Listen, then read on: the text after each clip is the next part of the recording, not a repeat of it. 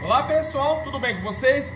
Vou apresentar para vocês aqui mais uma linda peça concluída é, A bainha é feita em couro de búfalo Olha esse acabamento pessoal, que maravilha Toda brunida, toda costurada à mão Beleza?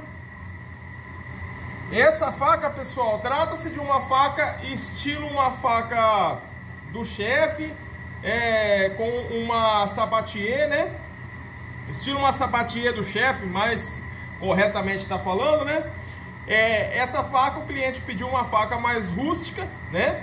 Que ele quer usar no churrasco dele, ele quer uma faca sabatier estilo mais rústico, então essa daqui é feita de disco de arado, tá vendo aqui? Tem até um carimbo da tatu aqui, ó, tá?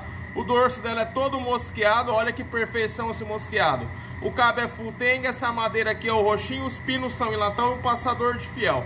Essa faca tem 10 polegadas de lâmina, tem 25 centímetros de lâmina. Ela é feita de disco de grade daqueles discos mais fininhos, é o disco nivelador, né? E ela tem 3 milímetros de espessura. Uma faca com peso muito bom, muito top. O aço, altíssimo teor de carbono. Olha esse ramon de têmpera, tá? Isso não é enfeite não, tá, pessoal? Isso é verdade, tá? Olha essa afiação, pessoal. Literalmente, ó, Ó.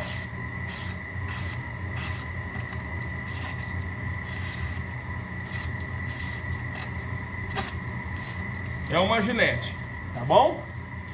Pessoal, para quem quiser estar tá adquirindo essa linda joia aqui, é só mandar, é, essa aqui não que já está encomendada, mas uma igual a essa, óbvio, né? Para quem quiser estar tá adquirindo, eu vou deixar um, um, um link azulzinho no Facebook, vai ficar aqui em cima, no YouTube vai ficar embaixo na descrição. É só vocês clicarem no link que vocês vão ser direcionados para o meu WhatsApp. Pode mandar mensagem, fica à vontade que eu responderei a todos, tá? Esse acabamento aqui, pessoal, é o acabamento oxidado em percloreto, que foi o, a pedido do cliente, né? Ele quis assim e assim foi feito, beleza? Pessoal, fique todo mundo com Deus. Um beijo no coração de todos vocês aí, viu? Tchau, obrigado.